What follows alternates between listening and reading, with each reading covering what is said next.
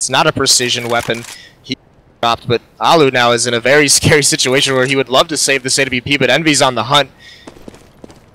Him damage though. If he can find a couple nice shots, just much like the first half, keep the economy low, and he hears them running around in these upper B tunnels, and there's no one from Envy really pressuring him from mid.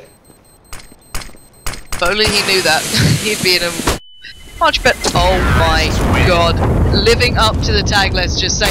There's a player right above him. He catches out happy and he gets away with his life. Alright, allu. You made it as a true ninja right there. That was beautifully played. Was that three players walking past him? Yep, just walked right by, casual.